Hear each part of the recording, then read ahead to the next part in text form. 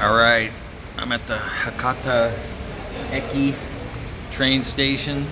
Hi. Just in case my dad watches the video, at, at two seconds in, maybe he'll notice that you're in the video.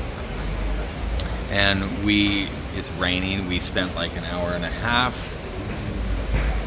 getting. We came to Japan to get croissants. We, yeah, we went and got our JR passes redeemed, and we spent probably an hour and a half in line because it's rush hour, and there's always a huge line for this croissant place. So We were like, that smells good. Lots of people want it. Let's go try them. So I went to Japan to eat croissants. Those are, those are pretty good.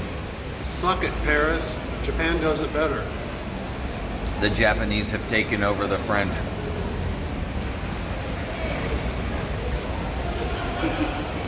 That's melting in my mouth. No wonder that none of the other stores had a line at all, but that one always has a line. Yeah. For two days, I've noticed this huge line over there. Have fun eating a Kit Kat.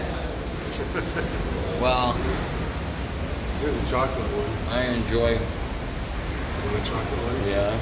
Well, I enjoy a croissant Fukuoka.